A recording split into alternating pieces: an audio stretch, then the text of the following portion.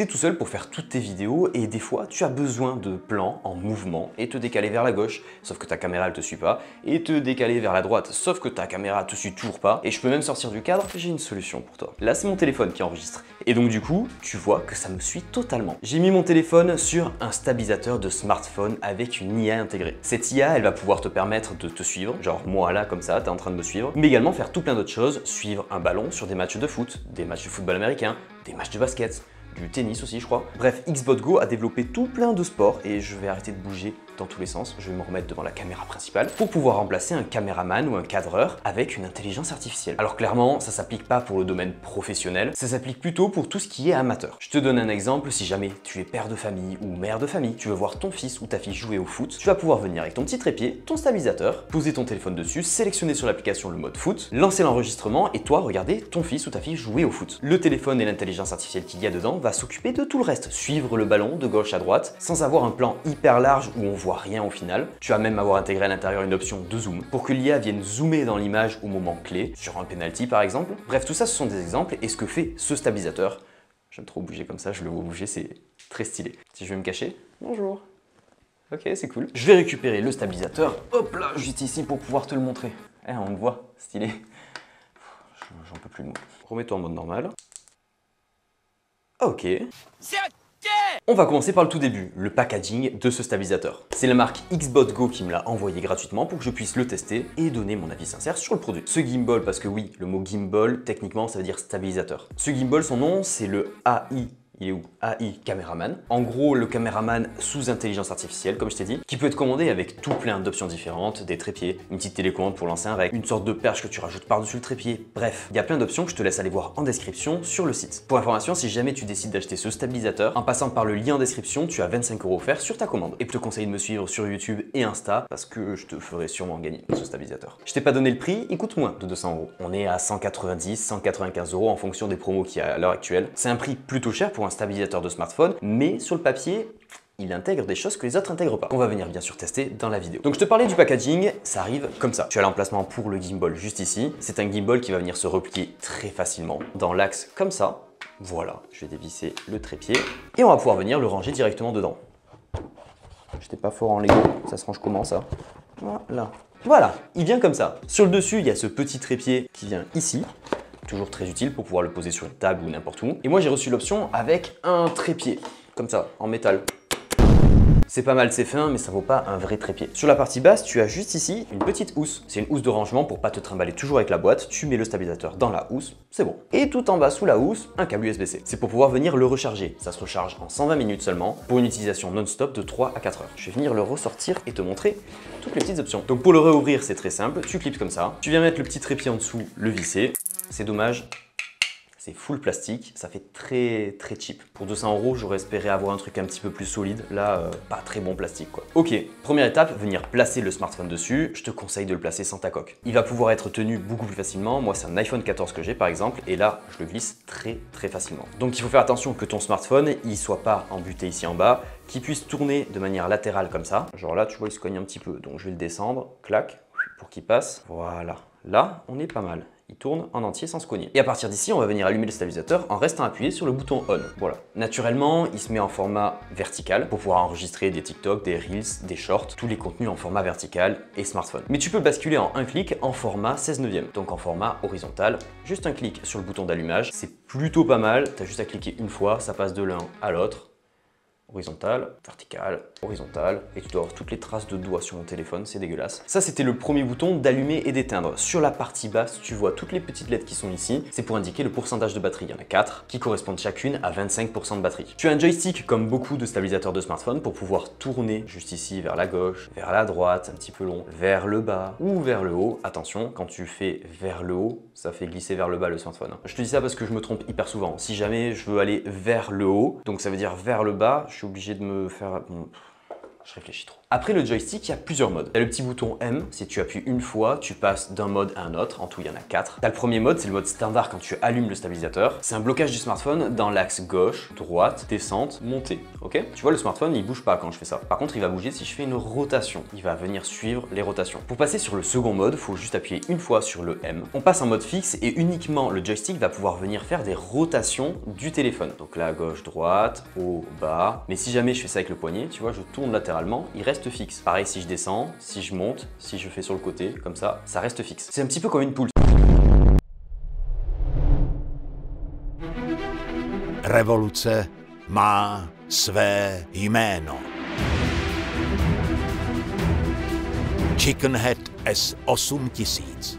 Mais là on est un petit peu pareil, genre je bouge tout autour, le smartphone tu vois il, il bouge pas, et voilà. Le prochain mode c'est le mode FPV, là il va tout suivre, c'est-à-dire que je bouge, il va suivre de manière un petit peu plus smooth, sur le côté, sur le devant, je plonge vers le bas, je remonte vers le haut, voilà. Là il suit totalement le mouvement du smartphone, mais si je fais ça comme un gros débile, ben, tu vois le smartphone, smartphone, on va dire téléphone. Tu vois, le téléphone, il reste à peu près smooth. Ça te permet d'avoir une bonne image. Quand tu cours, par exemple, tu es là, ouh, salut Eh bien, tu vas avoir une bonne image. Et le dernier mode, le téléphone va suivre partout, sauf dans les axes diagonaux, comme ça. Si tu bouges en diagonale, il va rester droit. Mais si jamais tu bouges sur les côtés, comme ça, ou vers le bas, il va venir suivre les mouvements du stabilisateur. Sur tous les modes, tu as quand même accès à la petite molette pour venir corriger le stabilisateur, monter, descendre, et la molette prendra toujours la main sur tous les modes que tu actives. Le dernier bouton utile de ce stabilisateur en mode normal, c'est-à-dire que là c'est comme si on avait activé l'appareil photo et qu'on est en train de filmer. Ça va être encore sur le bouton M, on va double-cliquer dessus et donc il va venir se recadrer à l'emplacement initial. Voilà pour tous les boutons utiles de ce stabilisateur en mode normal. Ça t'aura sûrement pas échappé, sur le côté il y a une petite molette et derrière il y a un petit bouton mais qui ne servent pas en mode normal et qui ne fonctionnent pas. Maintenant le plus intéressant c'est toute la partie intelligence artificielle. Pour ça tu vas devoir venir télécharger l'application Xbot Go, appairer ton téléphone au gimbal pour qu'il puisse être synchronisé et ensuite lancer le mode que tu veux. Donc dans les différents modes on va voir le foot, c'est soccer, le basket qui s'appelle basketball, le Power S qui correspond tout simplement au Power Soccer à mon avis, qui est en fait du football fauteuil. Tu vas avoir également le football américain, je pense que tu peux utiliser le football américain sur du rugby, ça devrait fonctionner. T'as un sport qui s'appelle lacrosse, je ne sais pas du tout ce que c'est, ça ressemble à une raquette de tennis, donc on va dire que c'est du tennis. Tu as le hockey sur glace et tu as enfin le follow me, donc euh, suivre une personne. On va rentrer juste vite fait dans le mode follow me qu'on avait juste avant, comme ça tu vois un petit peu tout. Quand je vais faire un simple mouvement avec ma main, ça va commencer à enregistrer et ça va faire un tracking sur moi. Si je lève ma main comme ça, tac, pourquoi tu marches pas? L'autre main? Cette main? Donc là j'essaye en mode horizontal parce qu'en mode vertical ça n'avait pas trop l'air de marcher, mode horizontal. Ok, là ça fonctionne. Et là tu vois que quand je bouge, ah bah il suit. Tac. Il suit, nickel. Et je crois que pour l'arrêter, il faut refaire le même mouvement. J'ai jamais réussi à l'arrêter. Il s'arrête des fois tout seul aléatoirement. Parce que je fais un mouvement genre euh, ça, ça. Allez, arrête Je me suis pas... Ah, ok, nickel il a perdu mon tracking. C'est un peu, je pense, l'inconvénient, il va te suivre tout le temps et des fois il va s'arrêter. Je pense qu'il y a un geste pour déclencher ça. Il me semble que c'est également de remettre la main devant, mais il ne le comprend pas tout le temps. J'arrête le rec. Sur l'interface, tu vas retrouver tout plein de petites options. Ce qui nous intéresse le plus, c'est le retour au menu principal, la petite maison qu'il y a sur le dessus, et l'enregistrement. Ça ne peut enregistrer qu'en 1920 par 1080 au maximum. Et sinon, tu as une autre résolution de 1280 par 720. C'est dommage. C'est quand même dommage. C'est dommage. C'est quand même dommage. Dommage. C'est quand même dommage. On a tous des téléphones à l'heure qui enregistrent en 4K, voire 8K. Je comprends pas pourquoi sur l'application, ils n'ont pas développé le fait de mettre l'appareil photo natif, c'est-à-dire un enregistrement au maximum que peut faire l'appareil, au lieu de brider ça en 1920 par 1080 au maximum. C'est un petit point négatif qui me chagrine parce que tu n'auras pas la même qualité. Sur le côté droit, tu as le mode rec et tout ça, et tu as même un mode live. Sur l'application, tu vas pouvoir venir mettre une clé de stream, que ce soit Twitch, que ce soit Facebook, que ce soit YouTube, pour pouvoir lancer un live. Ça, c'est super utile si jamais tu filmes des matchs de foot, par exemple, et que tu dois le rediffuser en live avec un smartphone. C'est très sympa pour tous les petits clubs de foot qui n'ont pas forcément les moyens de payer une production, tout un cas régie, des cadreurs, des caméras, un réalisateur, bref tout ça pour pouvoir diffuser leurs petits matchs de foot, de fédéral ou national, je sais pas trop comment c'est au foot, mais bref depuis un téléphone tu vas pouvoir venir faire ça. Et si tu combines ça à l'option foot, on va revenir dans les paramètres en arrière, lancer un rec et là on va sélectionner soccer, on fait next, on peut dire quel type de foot c'est, du foot 5 contre 5, du foot 7 contre 7 ou 9 contre 9, ou du foot 11 contre 11. Pareil sur l'âge des personnes, en dessous de 14 ans ou au-dessus de 14 ans, l'IA va traiter différemment les informations. Pour si jamais il y a des personnes de moins de 14 ans qui sont plus petites en taille que les arbitres par exemple, et eh bien ça suit les personnes plus petites. On rentre dans le même menu et dans les trois petits points, on va pouvoir donner une taille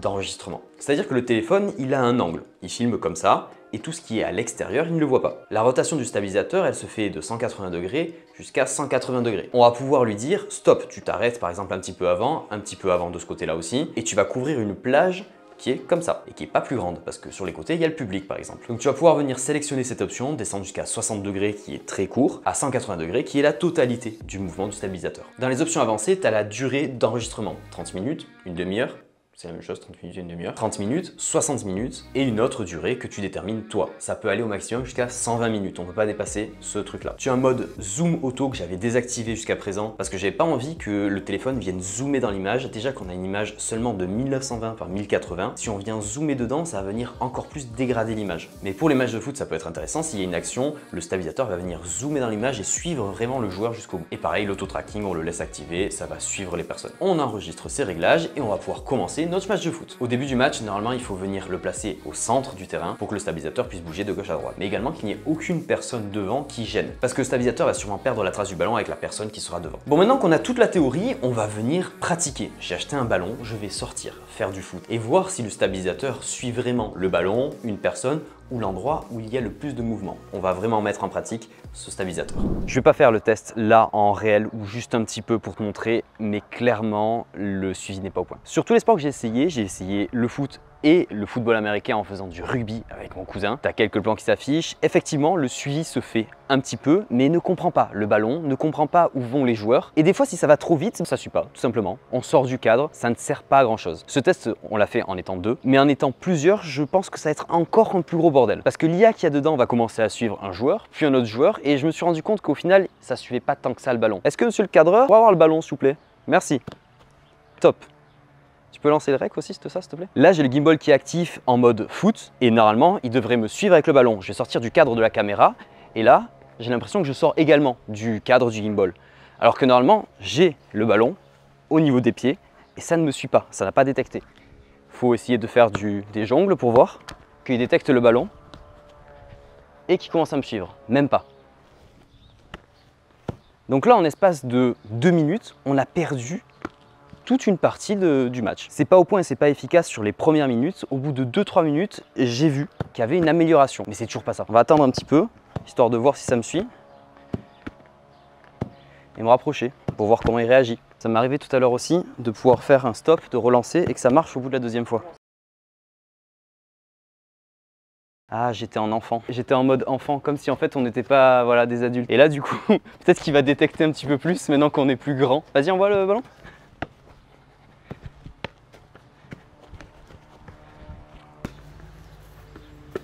Là Quoi là Là, il t'a suivi, là. Là, il te suit. Là, il me suit. Non. Bon, tu viens de le voir, ça n'a pas fonctionné du tout c'est pas forcément très au point. Tout à l'heure, ça a marché, c'est un petit peu aléatoire. J'ai vu des personnes, et des Américains notamment, qui arrivaient à le faire fonctionner sur des vrais matchs de foot. Là, je l'ai montré avec une, deux personnes, avec un ballon. J'ai pas de match de foot autour de moi. Donc du coup, ben, je peux pas te montrer ça sur un match de foot. Ce gimbal, il est bien et pas bien. Bien si tu l'utilises avec un téléphone comme un gimbal normal. Bien si tu l'utilises au niveau du tracking de personnes et pas au niveau du tracking d'un jeu style foot, style basket, style hockey. Tous les sports qui sont dedans sont pas assez développés pour moi. Et comme tout le marketing de ce produit est fait là-dessus, et que le prix de 200 euros est fondé sur l'IA qui est à l'intérieur, je pense que tu peux trouver mieux ailleurs parce que c'est pas assez fonctionnel. Peut-être que dans quelques mois ou années, quand ils auront un petit peu mieux développé leur application et l'IA, on arrivera à avoir quelque chose qui suit totalement le jeu du foot, du rugby, du football américain, du hockey, du basket, du tennis. Mais là, à l'heure actuelle, un petit gimbal comme ça à 200 euros, c'est non. Si tu veux le prendre pour une utilisation classique d'un stabilisateur à smartphone, tu as le lien qui est en description et n'oublie pas qu'il y a 25 euros offerts sur la commande. Sur ce, j'espère que tu auras aimé la vidéo, que tu as posé ton petit like et tu t'es abonné à la chaîne. N'oublie pas, ce gimbal, je vais le faire gagner. Donc suis-moi sur YouTube et Insta pour que tu puisses voir comment tu peux l'avoir. Sur ce, on se dit à très vite pour une prochaine vidéo. Porte-toi bien, tchou bidou bidou.